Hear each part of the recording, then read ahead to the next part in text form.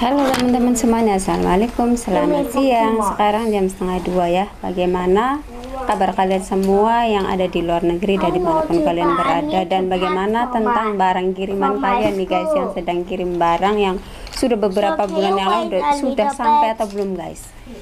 Nah ini kebetulan saya juga mau kirim paket Cuman saya tuh masih mikir-mikir beribu kali ya guys ya pusing banget gitu mikirinnya ya. Ya udah daripada kita pusing-pusing kita sama-sama dengerin penjelasan dari Bapak Beni nih teman-teman biar kita pusingnya hilang gitu ya.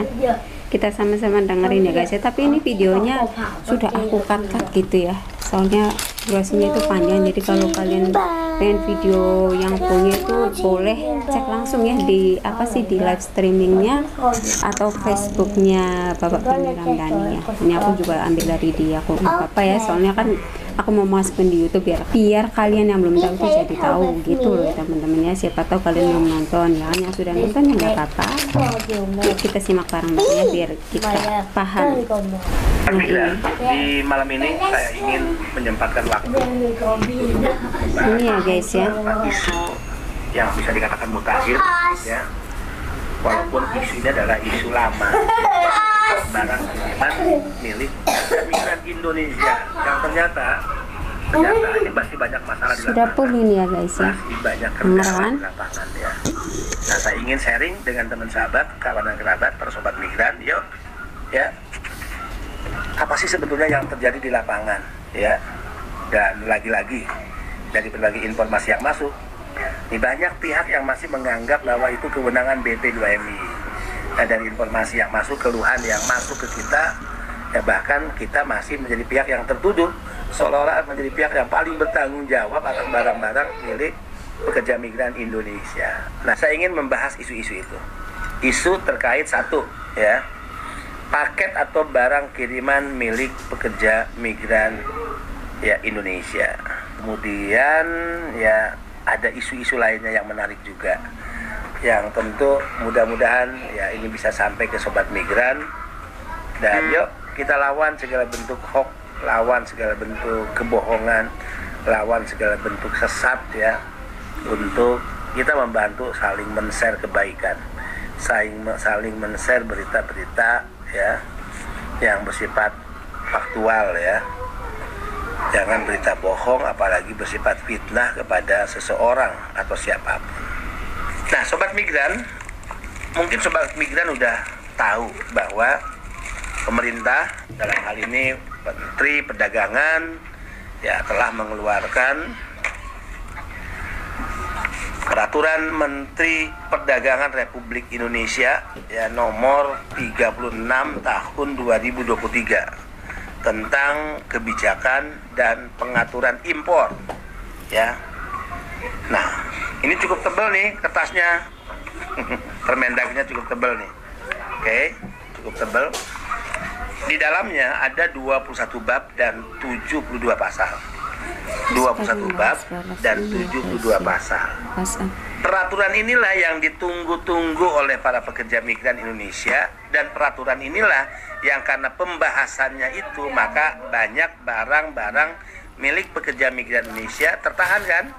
Ya, ada yang tertahan di Pelabuhan Tanjung Mas Semarang, ada yang tertahan di Pelabuhan Tanjung Perak Surabaya, ya. Ini peraturan yang ditunggu nih, udah keluar kan? Ya.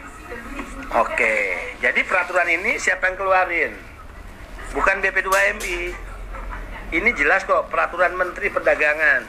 Kalau BP2MI memiliki kewenangan mengatur barang paket kiriman milik PMI, pasti namanya adalah Peraturan Badan Pelindungan Pekerja Migran Indonesia. Clear ya? Jadi peraturan itu bukan dikeluarkan oleh BP2MI karena BP2MI tidak punya kewenangan mengatur keluar atau masuk barang kiriman khususnya milik pekerja migran Indonesia. Oke. Yang kedua di tangan saya ada salinan nih, ya. ya Salinan keputusan nih. yang penting ya. penjelasannya ya guys ya. Ya. ini penting banget loh ya Dari mana nih? Silakan disimak sampai selesai Ya, Peraturan Menteri Keuangan Republik Indonesia, Peraturan Menteri Keuangan Republik Indonesia nomor 141 tahun 2023. Yuk, tentang apa nih dibaca ya? Buat migran. ya dibaca peraturan Menteri Keuangan atau PMK ya Republik Indonesia nomor 141 tahun 2023 tentang ketentuan impor barang pekerja migran Indonesia. Nah, apakah peraturan ini ujuk-ujuk keluar? Apakah peraturan ini ujuk-ujuk lahir? Enggak. Ya, tadi udah terjawab. Siapa yang membuat peraturan ini agar barang-barang milik PMI diatur secara khusus, diberikan kemudahan. Ya. Yang mengeluarkan peraturan itu tadi saya ulangi. Nih, ada peraturan Menteri Perdagangan Republik Indonesia. Ya. Baca ya, obat migran. Supaya nggak ada fitnah lagi supaya tidak BP2MI dijadikan tumbal. BP2MI menjadi tertuduh. Ah. Kenapa sih di BP2MI mempersulit kan gitu? Kenapa sih BP2MI membuat kami ribet nih dengan barang-barang? Bukan kami yang punya kewenangan itu sobat migran nih. Ya, saya baca ya. Peraturan Menteri Perdagangan Republik Indonesia nomor 36 tahun 2023 tentang kebijakan dan pengaturan impor ya Nah, di sini kan umum impor. Di dalamnya ada pasal yang mengatur tentang barang milik pekerja migran Indonesia. Ini cukup tebal loh ya. Saya sebutkan tadi 21 bab 72 pasal. Nah, kemudian juga ada peraturan nih ya, Menteri Keuangan.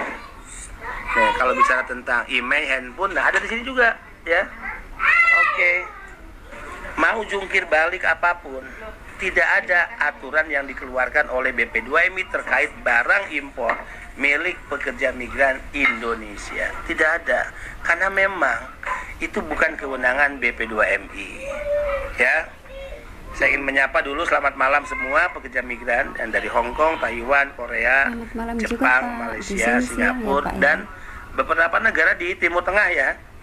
Ayo ikuti ya, share sebanyak-banyaknya ke semua pihak, ke semua orang okay, acara siap. live malam hari ini agar teman-teman kita teman -teman tidak ketinggalan ya informasi yang menurut saya sangat penting dan sampai hari ini menjadi diskusi yang tidak pernah selesai karena Betul. memang belum menyelesaikan masalah peraturan itu ya.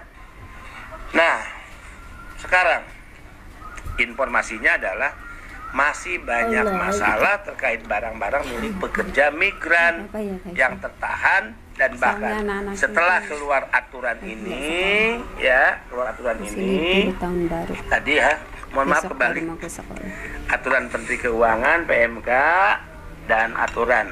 Peraturan Menteri Perdagangan. Nah masih juga barang-barangnya belum bisa keluar. Dan bahkan katanya harus ada syarat ini itu dan sebagainya. Termasuk syarat EKTKLN benar kan kita jawab nih ya kalau ada yang mengatakan harus ada EKTKLN, bahkan ada PMI yang mengatakan, Pak, apakah sekarang kami harus mengurus kembali EKTKLN? Saya jawab, tidak ada EKTKLN dan EKTKLN bukanlah syarat. Sekali lagi, EKTKLN bukanlah syarat bagi seseorang untuk dinyatakan dia PMI atau bukan. Clear, ya. Dulu di zaman jahiliyah kan pernah tuh ada kartu EKTKLN pernah kan? Yang kemudian diprotes oleh PMI karena ya info informasinya kan EKTKLN itu diperdagangkan. PMI harus bayar ya kan? kemudian berubah jadi PMI kan? Ya seolah-olah itu juga menjadi syarat. Saya sudah mengambil tindakan mengumumkannya ke publik ke PMI menyampaikannya juga ke lembaga-lembaga pemerintah yang ada di Indonesia bahwa EPMI pengganti EKTKLN dia bukanlah sebuah dokumen persyaratan untuk menyatakan bahwa PMI ya bukan dokumen ya persyaratan yang wajib dimiliki PMI yang seolah-olah jika tanpa EKTKLN PMI dinyatakan bukan EP apa bukan PMI. Jadi tidak. EPMI itu hanya sebuah sistem pendataan. Cisco P2MI ya sama artinya. EKT EPMI pengganti EKTKLN hanya sebagai pendataan sebuah kamar ilustrasinya ya di mana tinggal diklik jika PMI tersebut keluar namanya otomatis dia adalah PMI resmi. Gitu ya. Jadi bukan sebuah dokumen apalagi kertas dalam bentuk fisik bukan. Ya. Oke clear nih mudah-mudahan ya sobat migran. Tidak ada lagi yang menyalahkan dan menjadikan BP2MI sebagai kambing hitam. Ada pertanyaan misalnya gini Pak kalau begitu ngapain sih kami dimintai EKTKLN untuk membuktikan bahwa kami PMI atau tidak agar kami bisa mengurus barang atau mengeluarkan barang? Saya tanya balik yang ngomong itu siapa? Bukan orang BP2MI kan? Nah salahin dong kepada mereka yang ngomong Oke teman-teman sampai di sini dulu videonya. Terima kasih and bye bye see you next video. Semoga bermanfaat ya. Silahkan disimak baik-baik loh dan untuk uh, lebih detailnya teman-teman bisa simak videonya di Facebooknya Bapak Beni Ramdhani atau Bapak Ketua BP2MI ya. Bye bye.